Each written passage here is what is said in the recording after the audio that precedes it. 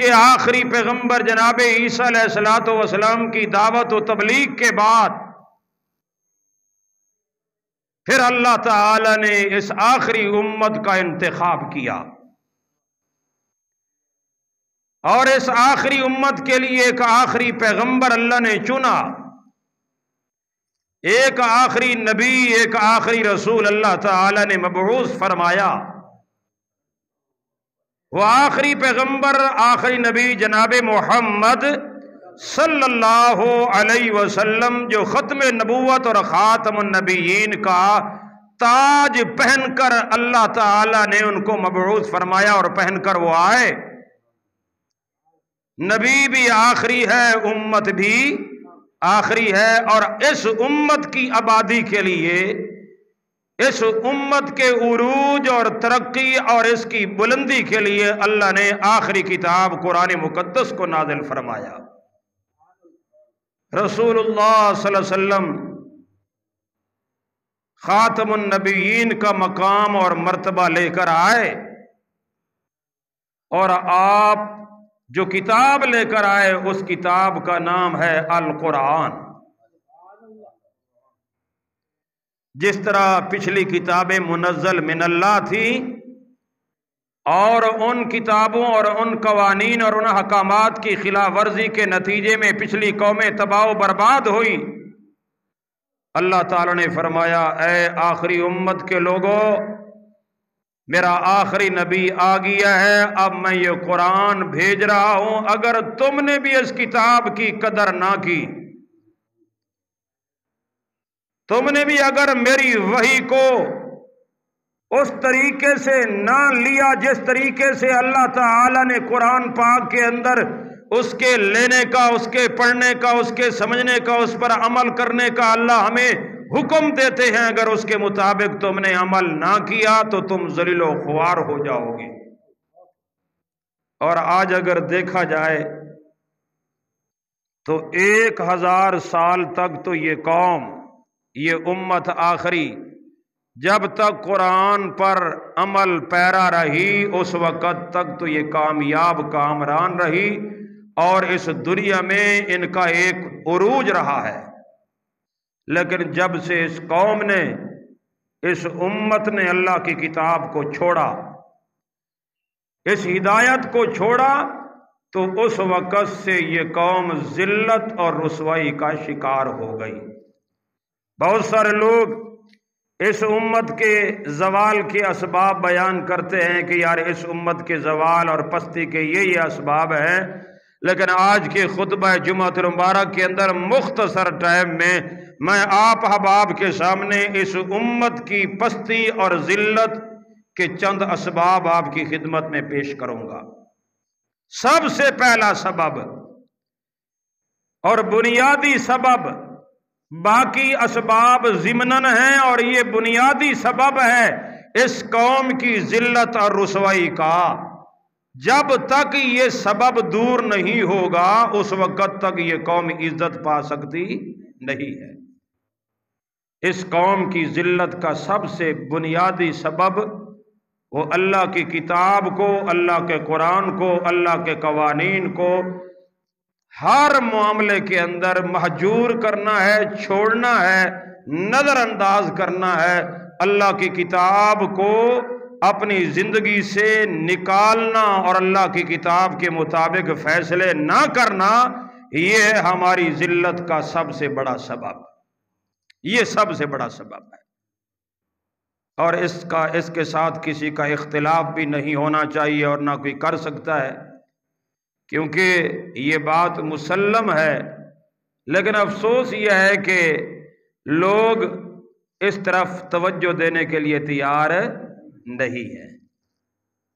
हालाँकि ये बात आम फाम है, जिस तरह पिछली कौमें तबाह बर्बाद हुई अल्लाह की किताब को छोड़ने की वजह से तो ये कौम भी तबाह बर्बाद हो गई है। ये उम्मत नाम के मुसलमान है, लेकिन काम सारे इस्लाम के, दीन के, कवानीन के अहकाम के बिल्कुल खिलाफ है। नाम के हम मुस्लिम हैं और काम सारे गैर मुस्लिमों वाले हमारे अंदर पाए जाते हैं। और जिल्लत का सबब यही है। अल्लाह ताला ने ये किताब भेजी थी।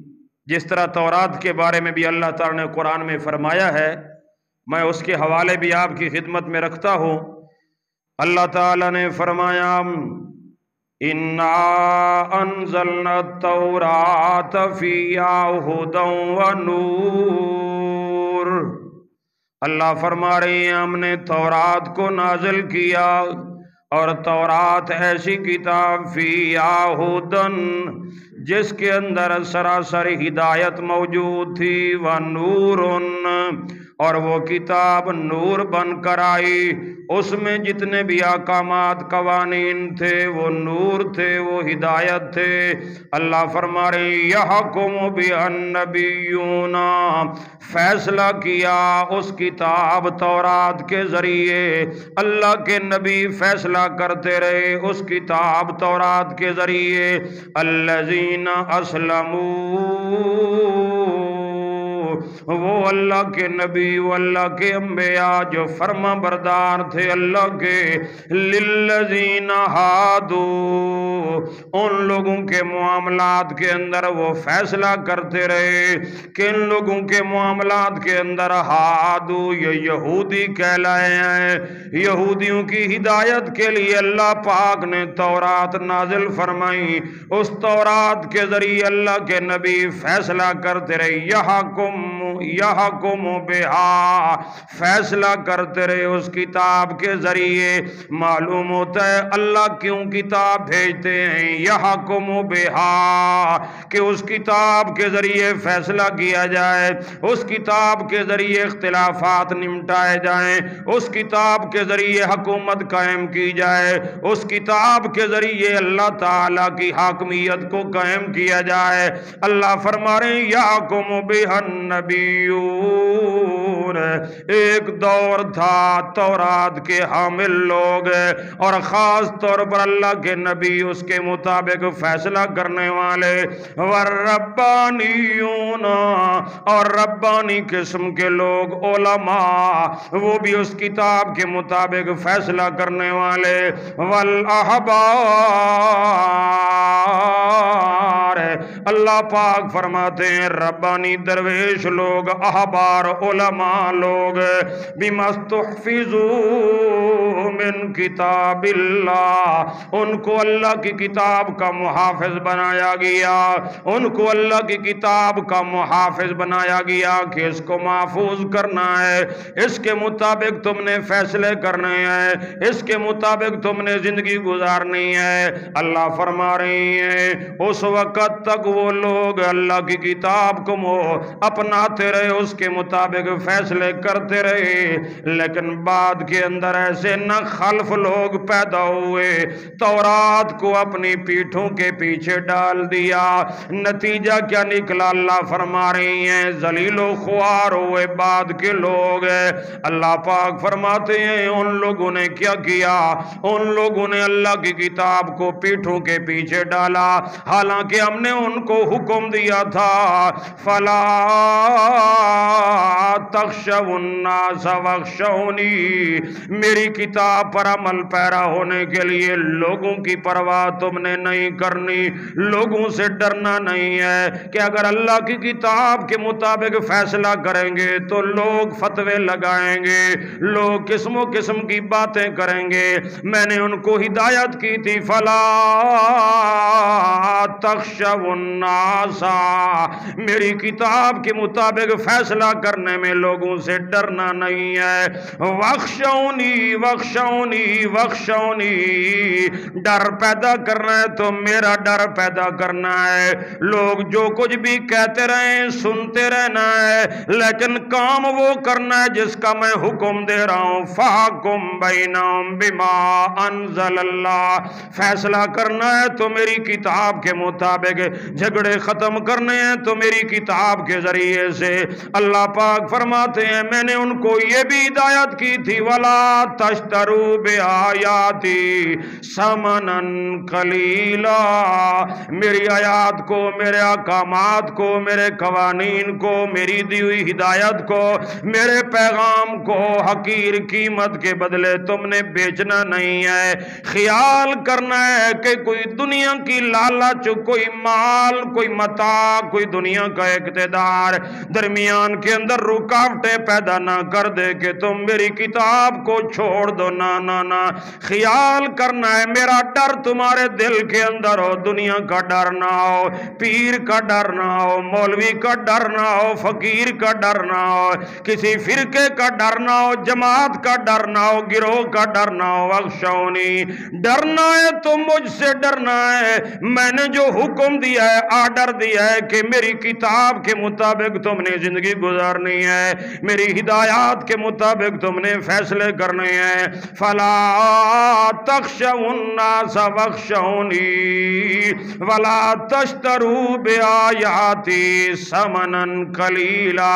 ये वो दौर है जब तौरात नाजिल हुई, उस वक़्त के लोगों को अल्लाह पाक ने हिदायत दी और वही हिदायत अल्लाह ने कुरान में नाजिल फरमाई, अल्लाह क्यों हमें आल आवाल सुना रही है हमारी हिदायत के लिए, आज की उम्मत के लिए, आज के हामिलीन कुरान के लिए। अल्लाह पाक फरमाते हैं, ख्याल करना, फला तख्शा लोगों से तुमने नहीं डरना वक्शौनी मेरा डर तुम्हारे अंदर होना चाहिए। पूरी मखलूक इंसानियत एक तरफ़ खड़ी हो जाए, एक तरफ़ मेरे कुरान का हुक्म हो मेरा हुक्म। हो मेरा आर्डर हो सारी कौम को छोड़ दो, उम्मत के मौलवी नाराज़ होते हैं। होने दो, पीर नाराज़ होते हैं। हो जाए, गद्दी नशीन नाराज़ होते हैं तो हो जाए। फिरके के बड़े बड़े लोग नाराज़ होते हैं तो हो जाए। लेकिन मेरे मुझे नाराज़ नहीं करना। लाता तली मखलूक फ़ी मासियतिल खा खालिक अल्लाह की नाफरमानी में मखलूक की इताद करना हराम है हराम है, जायज़ नहीं है। इताद करनी है तो अल्लाह की फर्मा बरदारी है तो अल्लाह की इबादत है तो अल्लाह की।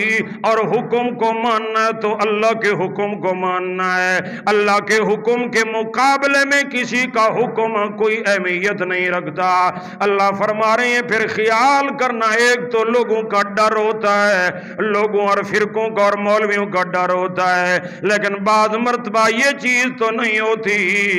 दुनिया की लालच सामने होती है। अगर मैंने हक मसला बताया, सच मसला बताया, मैंने कुरान के मुताबिक फैसला किया तो मेरी चुदराहट जो है, मेरी इमामत जो है, मेरी खिताबत जो है, ये ख़त्म हो जाएगी। मुझे मेरे मदरसे का इतना चंदा मुझे मिलता है।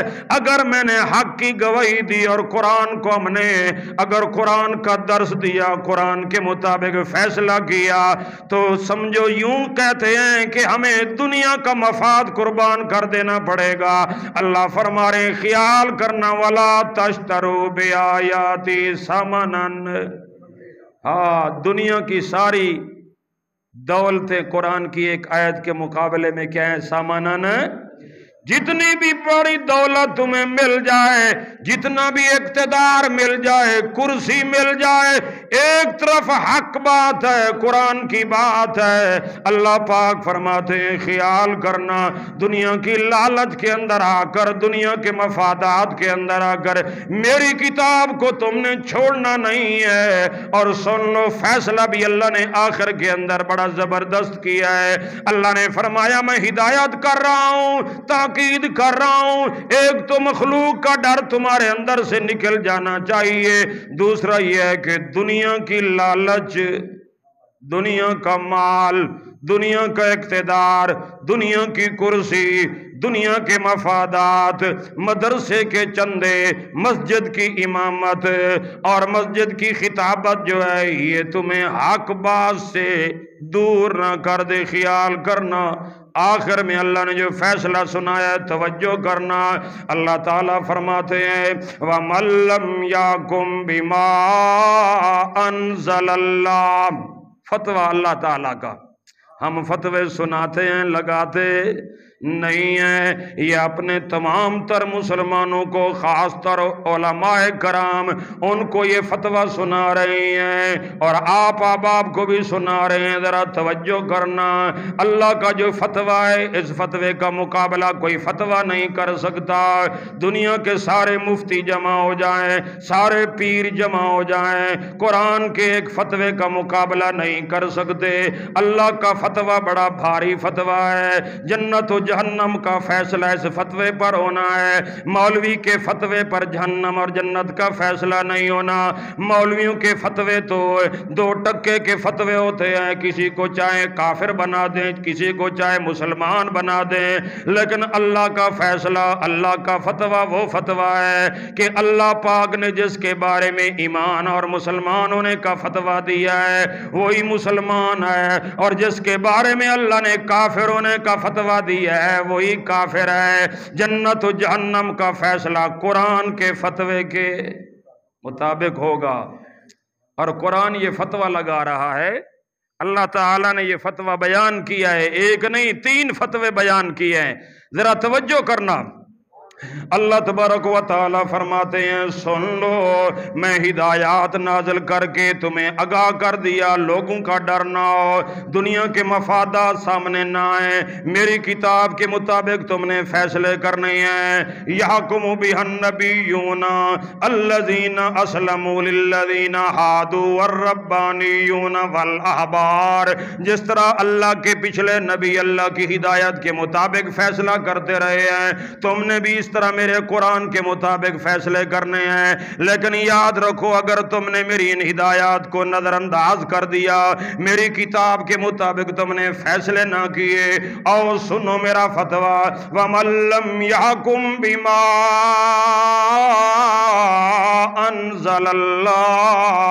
जो बंदा, जो मौलवी, जो पीर, जो जज, जो फकीर, कोई छोटा बड़ा आला अदना, कोई भी अल्लाह फरमा रहे हो मल्लम या याकुम बिमान जो लोग ना फैसला करें अल्लाह की नाजिल करदा किताब के मुताबिक। अल्लाह अल्लाह। अल्लाह पाक ने उमूमी फतवा लगाया है। चाहे अपने आप को मुसलमान कहलवाएँ, यहूदी कहलवाएँ, ईसाई कहलवाएँ, अल्लाह पाक ने किसी का नाम नहीं लिया। अल्लाह ने उमूम बयान किया है। मल्लम याकुम व मल्लम याकुम बिमा अनजल अल्लाह जो लोग अल्लाह की नाजिल करदा, किताब के मुताबिक फैसला नहीं करते फौला कहमुल का काफिरून यही लोग कौन है? ये फतवा अल्लाह का है। ये हमारी हिदायत के लिए अल्लाह ने नादल किया है। ख्याल करो, ख्याल। मैंने किताब भेज दी है, कुरान। जो हिदायत का मंबा है, मरकज है तमाम फैसले किताबुल्लाह पर पेश करो, सारे तमाम तर रिवायात, कहावतें सारी अल्लाह की किताब पर पेश करो जो कुरान फैसला कर दे। हक को बातिल का मैार कुरान पाक है, सच और झूठ का मैार कुरान पाक है। जिसको कुरान हक कह दे, वो हक है, जिसको बातिल कह दे, वो बातिल है। अल्लाह पाक फरमाते हैं, सुन लो, वमल्लम यह कुम वमल्लम यहकुम बिमा कौमुल काफिरून। ये पहला फतवा लगाया। आगे अल्लाह ने दूसरा फतवा लगाया। दरमियान में कानून बयान करने के बाद व कतबना अलहिम फिया नफ्स बिन नफ्सी। हमने तौरात के अंदर ये कानून नाजिल किया। कौन सा कानून? अन्न नफ्स बिन नफ्सी की जान के बदले क्या अगर एक बंदा एक बंदे को ना हक कत्ल करता है तो उसके बदले में जान का बदला जान होगा। वलाइन बिलाइनी आँख का बदला किसी ने किसी की आँख फोड़ी है तो उसके बदले में आँख फोड़ी जाएगी। वल अनफ बिल अनफी, नाक के बदले में नाक किसी ने किसी का नाक काटा है, या उसको तकलीफ़ पहुंचाई है, उसके मुताबिक उतनी तकलीफ़ पहुंचाई जाएगी। वल ओजोन बिल ओजोनी कान के बदले कान व सिन्न बिन्नी दांत के बदले दांत वाल जोरोह के सास जैसे जख्म वैसी सजा होगी। जितना जो किसी को जख्म पहुंचाएगा, बदले में उतना पहुँचाया जाएगा। फमन तसद्दा कभी हाँ अगर कोई भाई दूसरे भाई को माफ़ कर देता है अगर कोई भाई दूसरे को क्या कर देता है? माफ़ कर देता है। फवा कफारत हो अल्लाह पाक फरमाते हैं, वो माफ़ करना उसके गुनाह का कफारा हो जाएगा। अल्लाह उसके बदले में उसके गुनाह मिटा कर वहाँ नेकियाँ अल्लाह लिख देगा। और आखिर में फिर फतवा लगाया, ये मेरे कवानीन है, ये मेरी हिदायत है। वमल्लम यह कुम बिमा जो भी बंदा मेरे नाजल नाजिल करदा कवानीन के मुताबिक, मेरी हिदायत के मुताबिक, मेरे पैगाम के मुताबिक जो भी फैसला नहीं करेगा फौला ऐसे लोग जालिम होंगे जालिम होंगे। पहला फतवा उलाए कौमुल काफिरून। दूसरा फतवा उलाए कौम जालिमोन। जालिम किन को कहा जा रहा है? काफिर किन को कहा जा रहा है? मल्लम या कुम बिमा जो लोग अल्लाह की नाजिल करदा किताब के मुताबिक फैसले। आप अंदाज़ा लगाए, कितनी अहमियत है अल्लाह ताला की वही की। अल्लाह के पैगाम की कितनी अहमियत है मेरे मुआज़ सामीन। लेकिन ये कौम कदर नहीं कर रही। कुरान पाक की फैसला कराते हैं मौलवी से, फैसला कराते हैं मौलवी की लिखी किताब से। कुरान की आयतें पढ़ी जाए, जो भी मसला कोई इख्तलाफ ही आ जाए, इधर कुरान की आयतें पढ़ी जाती हैं। कुरान के मुकाबले में कोई बुखारी ले आता है, कोई मुस्लिम ले आता है, कोई दाऊद ले आता है, कोई जाम त्रिमजी ले आता है, कोई फलाने किताब ले आता है, कोई कोई मौलवी की लिखी हुई किताब ले आता है। कितना ये जालिम है कि इधर कुरान की आयत है, उधर इंसानों की लिखी हुई किताबें लेकर आ रहे हो। हालाँकि कुरान फतवा दे चुका है मल्लम या कुंबिमा सोचो किस मैदान में खड़े हो और किस खाते में चले गए हो। हमें तो बड़ा डर रहा है। हम तो कुरान की जर्रा बराबर मुखालफत नहीं कर सकते। जर्रा बराबर भी अगर कुरान से एक तरफ़ हटेंगे, फिर ये फतवा मेरे ऊपर भी लगेगा। अगर मैं कुरान के मुताबिक फैसला ना करूँ, मेरा अकीदा कुरान के मुताबिक ना हो, एक बंदा मेरे सामने आयत पेश करे और मैं उसको ना मानू और कहूँ कि नहीं नहीं, फलानी रिवायत है तो यकीनन ये फतवा मेरे ऊपर भी जारी होगा कि नहीं। होगा जारी। अगर कुरान के मुकाबले में मैं रिवायात को तरजीह दूँ, कुरान के मुकाबले में मौलवी की लिखी हुई किताब को तरजीह दूँ, और अल्लाह के कुरान को छोड़ दूँ, नजरअंदाज कर दूँ तो उलाए कहमुल काफिरून। उलाए कहमुजालिमून ये फतवे हमारे ऊपर भी जारी होंगे। लेकिन याद रखो, आज हम ये नमूना दिखा रहे हैं कुरानी आयात पढ़ के। ख्याल करो, वो लोगों जो अल्लाह के कुरान के मुकाबले में खड़े हुए हो। सोचो, अल्लाह ताला हिदायत नसीब फरमाए। अल्लाह ताला फरमा रहे हैं, तौरात के बाद और सुनो, एक और किताब हमने नाजिल की, वो कौन सी है? वह कफ़ैनाला आसारिम भी सबने मरियम, और इन्हीं के नक्शे कदम पर हमने भेजा था, ईसा ने मरियम को। वो ईसा ने मरियम जब आए मुसद कलिमा बैन यदई मिन तौरात।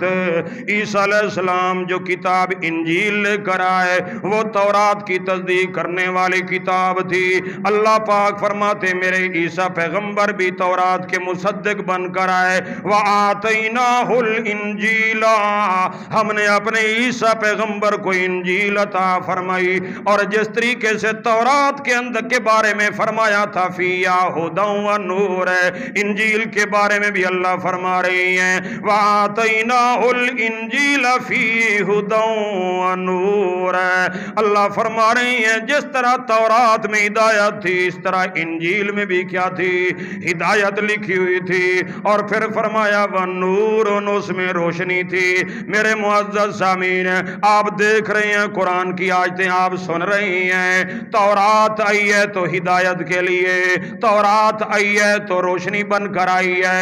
इंजील आई है तो हिदायत के लिए, इंजील आई है तो रोशनी बनकर आई है। अल्लाह पाक फरमाते हैं देखते चले जाओ, जिस तरह मेरी पिछली किताबें हिदायत का मंबा मरकज थी तोरा तो इंजील अब कुरान का भी फैसला आ गया रहा जरा इंजील का हाल हवाल सुन लो।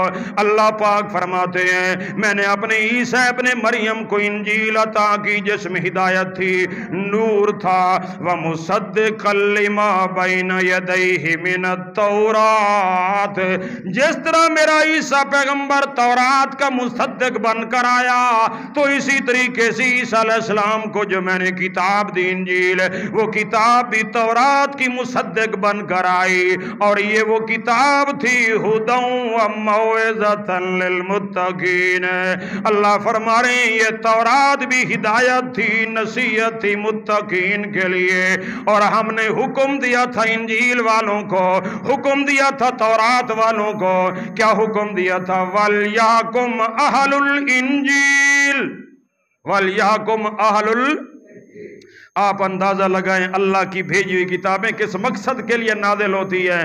कितने बड़े झूठे और कजाब हैं वो लोग?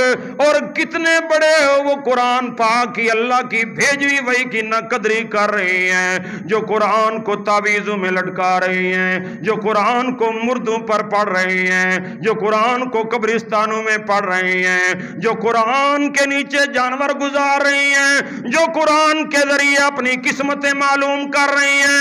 जो कुरान पाक के ज़रिए अपनी ये तमाम तर दुकानदारी तावीज फूके धागे की चला रही हैं। कितने बड़े जालिम हैं। हालाँकि आइया किताब हिदायत के लिए, रहनुमई के लिए अल्लाह फरमा रहे वलियाकुम इंजील। हमने हुक्म दिया था कि चाहिए कि फैसले करें इंजील वाले। किस चीज़ के ज़रिए फैसला करें? बिमा अनजल किसके ज़रिए? अल्लाह पाक फरमाते हैं, मैंने इंजील वालों को ये आर्डर दिया, ये हुक्म दिया। ओ इंजील वाले ईसाइयों मेरे ईसा पैगंबर पर ईमान लाने वालों, ईसा पर जो इंजील नाजिल हुई है, उस पर ईमान लाने वालों, ये किताब बरकत के लिए सिर्फ़ नहीं आई, ये मुर्दे बख्शवाने के लिए नहीं आई। वाल यह कुम अहलुल इंजील बीमा के फैसला करो तो अल्लाह की नाजल करदा किताब के मुताबिक करो। और आखिर में अल्लाह ने फिर फतवा लगाया, अगर तुमने भी मेरी नाजल करदा किताब के मुताबिक, हिदायत के मुताबिक, कानून के मुताबिक अगर फैसला ना किया वमल्लम यहकुम। ये कितना फतवा है? तरीजा तीसरा फतवा, पहला फतवा कौन सा? उलाए फौलाए कौमुल। और दूसरा फतवा फौलाए कौमुजालिमून और तीसरा फतवा फौलाए कौमुल फासिकून। अल्लाह अल्लाह अल्लाह पाक ने ये वो फतवे अल्लाह पाक ने गिनवाए हैं, याद करवाए हैं। और आखिर के अंदर जो मेरा मुद्दा है मकसद है, ये सारे सबूत आपकी खिदमत में इसलिए रखा, तौरात का हवाला दिया, इंजील का हवाला दिया, कुरान के हवाले से। और आखिर में अल्लाह पाक हमें खिताब कर रहे हैं। पहले यहूदियों को अल्लाह ने खिताब किया, फिर अल्लाह ने ईसाइयों को खिताब किया, अब मुसलमानों को खिताब है। पहले तौरात के हामिलीन को खबरदार किया गया। फिर ईसाइयों का हवाला अल्लाह ने दिया है। अब हमें खबरदार किया जा रहा है। अल्लाह ताला फरमाते हैं, मेरे आखिरी पैगंबर जनाब मोहम्मद। सबको सल्लल्लाहु अलैहि वसल्लम, मेरे प्यारे नबी का प्यारा नाम है तो कहो सल्लल्लाहु अलैहि वसल्लम, मेरे नबी का नाम बड़ा प्यारा है, मेरे नबी की सीरत बड़ी प्यारी है, मेरे नबी का उनवान बड़ा प्यारा है, मेरे नबी की किताब बड़ी प्यारी है, नबी का हुसन बड़ा प्यारा है, मेरे मुआज़ सामीन, आखिर में अल्लाह ने फरमाया, वह अनजलना कल किताब बिल हक।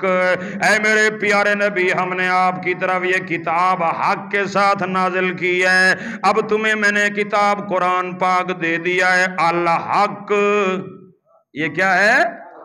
ये सच है सच है। हक किसे कहते हैं जो हर दौर के तकाजों को पूरा करता चला जाए? जिस तरह चौदह सौ साल पहले जनाब मोहम्मद सल्लल्लाहु अलैहि वसल्लम के दौर के तकाजे कुरान ने पूरे किए, हर दौर के तकाजे कुरान पूरे करता चला जा रहा है। दुनिया जहाँ कहीं पहुँच जाए, आज दुनिया जितनी बुलंदी और साइंसी तरक्की तक पहुँच जाए। मेरे मुआज़ सामीन, कुरान हर दौर की किताब है। हर दौर के तमाम तकाजे कुरान पूरा करने वाला है। ये कोई पुरानी नहीं हुई।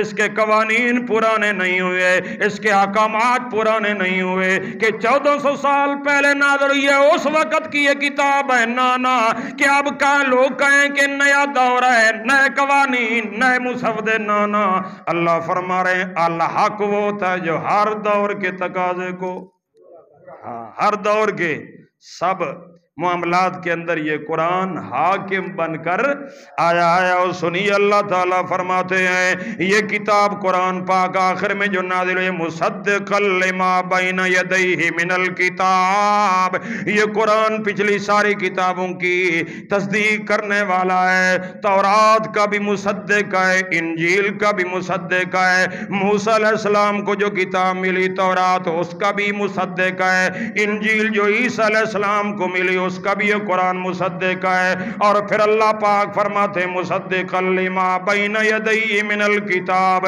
और आखिर में क्या फरमाया, व मुहैमिन व मुहैमिन अल्लाह पाक ने फरमाया, अब चूँकि इस किताब के बाद कोई किताब नाजल होने वाली नहीं थी। मेरे प्यारे नबी के बाद किसी नबी ने आना नहीं था।